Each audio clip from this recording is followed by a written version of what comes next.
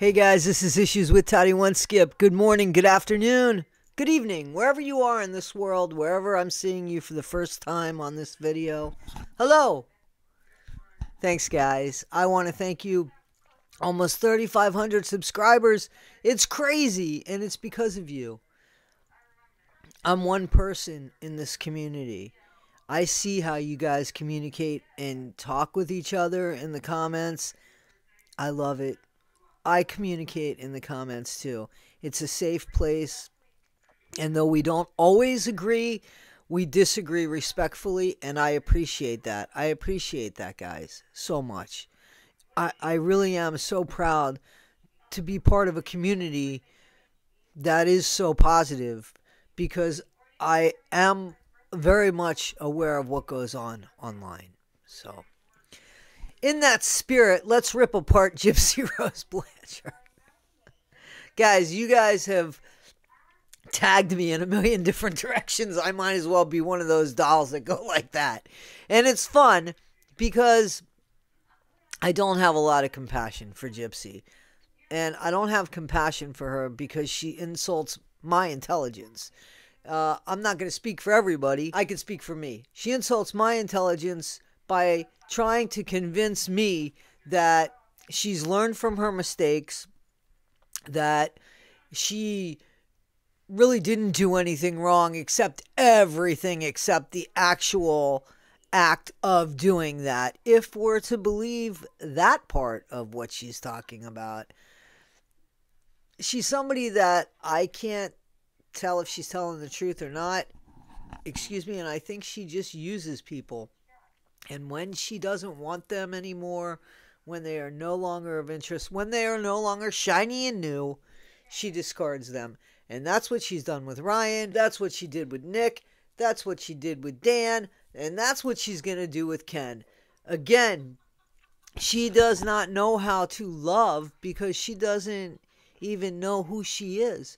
She doesn't know who she is. You do know that it wasn't long ago that she was fighting with Kristy and Rod about getting money so that her and Ryan could have their own nice home, right? She was talking about having children. She was talking about how much uh, we should be envious of her life, and we can't touch that. In the meantime, all this smoke and mirrors. You know, her dad gave her marriage a 50% chance. But I got news for you. We tend to give 50% chance of marriage success nowadays because about 50% fail in divorce, which is really sad because people just don't fight for each other. And, uh, you know, a lot of times people make permanent decisions over temporary situations. So we need to be careful when we behave like that. You know, there's a temporary crisis. We don't need to make a permanent situation about it. We just, we gotta we got to wait before we act. So, Gypsy, as we know, let's start off this because this is what I keep getting. So, I just want to kind of clarify her love life for somebody that was like stuck in a wheelchair claiming to be a certain age. There's so much online that neighbors knew how old she was. She knew how old she was. When she was 18, she knew that she was 18. So, this crap about later didn't exist. Didn't exist. The reason why uh, Dee never called the police when Gypsy went running away and disappearing at the Comic Con was because she was about 18. She was 18. When she went to the hotel room to say that Dan had uh, taken advantage of a juvenile. She wasn't a juvenile, so she didn't call the police. Come on. Somebody with Munchausen by proxy, if we were to believe that, didn't call the police when somebody deflowered her child? Come on, man. It just doesn't make sense, right?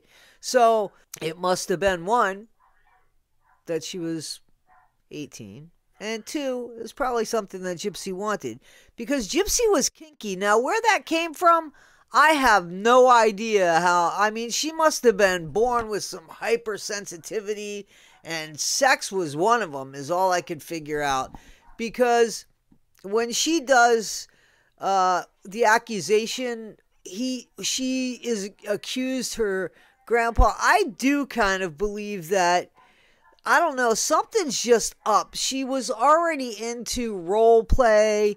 She had sent Dan pictures. This wasn't for Nick. It wasn't to meet Nick's personality. It was something that she probably brought out in Nick. You know, so she goes for Dan. She thinks she's in love with Dan. Finds out that Dan can't offer her the life that she wants. Doesn't run away with Dan because Dan's also the guy that was supposed to take her on the ranch in Arkansas, but who was on probation uh, and couldn't leave anything and was married with kids and has a drug problem where he sells them. So that's what his incarceration is about. If you look it up online, I think you're going to see that. So then you see where uh, Dan. So she's kind of done with Dan, and she speaks to a few other people, supposedly, and then she finds Nicholas, and she romanticizes Nicholas, who has autism and honestly can be manipulated pretty easily if that's the only person speaking to him in that ear. He's not telling his parents, he's not telling anybody else what's going on, what Gypsy's telling him. And she and he is believing what Gypsy is telling him. And that his his crime is believing what Gypsy is telling him and believing that the only way to save to save this woman and maybe she even because there's Gypsy also could have said my mom has cancer and this would be you know, a mercy unaliving.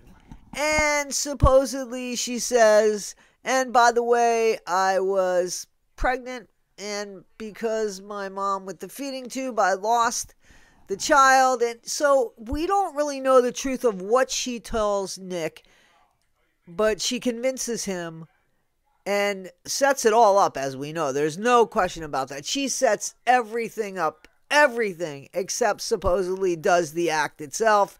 And we're not too sure about that. We're not too sure, honestly, that Nick does it either, right? We're really not. Then she no longer can use Nick because now Nick's locked away for life, right? She's Nick's locked away for life for somehow she's getting out in eight and a half years. She gets out, but before she gets out, she supposedly hears from about, about 250 people, and only a handful of them come and actually spend time visiting her. And of course, what she wants is money and everything while she's in jail. So the one remaining one was Ken, and that's who she loved and thought she loved. And then I guess Ken said, Oh, I can't do this because there's just too much, and I don't want to be known for being your husband because, you know, you're kind of infamous. You're not really famous. And so Ken's mom, I believe, uh, and Ken say this is too much, but you know, love will prevail. So then she finds Ryan, who is willing to do anything in the world for her, regardless. He is willing to do anything in the world for her. That's exactly what she needs, and an address to get out of jail early, and doesn't want to live with her dad or her stepmom. So, Ryan, to the rescue. And now, five months later, Ryan's of no use to her. She's supposedly back in touch with Ken. And we're going to wait and see the next of the next of the next. And supposedly, Gypsy Rose is living down in the bayou. Uh, and I don't say that to make fun. I love that accent. I love the Louisiana bayou, bayou accent. I love it. Um, I can't do it though. it's a very hard accent, I think, to do. But guys, that's where she's at, supposedly living with Rod and Kristy. I don't know. How long do you think that's going to last? This is just the gossip on it. For real, we're not going to know anything. We're really not going to know anything until Nick finally says what happened. Like, what happened that night? we're really not going to know. And then, truthfully, we're only going to know Nick's recollection and his recall his uh, skewed view while he's th- he was there in the middle of it all. And because Dee Dee isn't with us, we will really not know what happened that night. But we know what happened subsequent that night. And we know what kind of person Gypsy Rose is by Gypsy Rose showing us what kind of person she is. Guys, be anybody in the world. Do not be Gypsy Rose Blanchard. What do you think's going to happen? I think that probably Ryan signed an NDA, but I don't know if that's going to be enough to keep him stumped. Because he's the type of person, if you mess with his pride, he's going to find a way to make sure that you know it. So, guys, tell me what you think. Tell me if you want more videos about this. This is kind of lighthearted simply because this is basically just gossip, but it seems to be something you guys want. It's certainly not near as dark anymore because I'm really not talking about the crime of what happened. So talk to me about it. Thanks again for everything. I appreciate you guys. Like, subscribe, and share. This is Issues with Toddie One Skip. I am Toddie One Skip. Be better today than you were yesterday. Not half as good as you'll be tomorrow. Thanks, guys.